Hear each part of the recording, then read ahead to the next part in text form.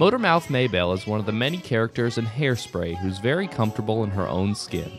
She's pretty much everything that I wish I was. Like, instead of just like beating around the bush, she says straight what's on her mind. She loves everyone. She's never mean or nasty when she could be.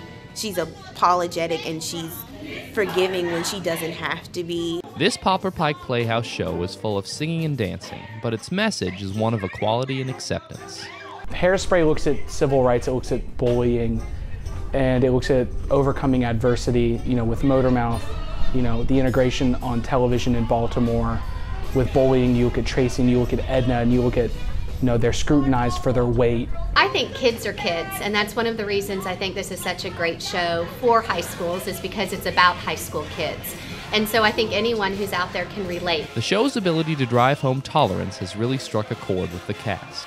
I think that's a great message for kids today to just know that you are who you are and you should love yourself no matter what. They might see a little of themselves in Tracy being bullied, or they might see a little bit of themselves of not being um, accepted into the, the right clique. And I think at the end we all learn that that's not what's important, that what's important is that we truly are the same. For Action News 5, I'm Justin Rollen, News 101.